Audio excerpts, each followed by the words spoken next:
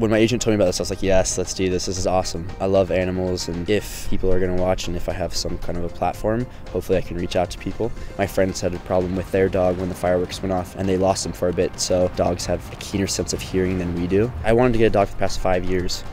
And every time I was like, oh wait, traveling, um, not enough time is, well, you know, so many different things that I thought about. So one of the things I did before I got him was kind of like prep my apartment for him and just did some research. And I think it's the worst when people just think, oh, I want to get a cute little pet.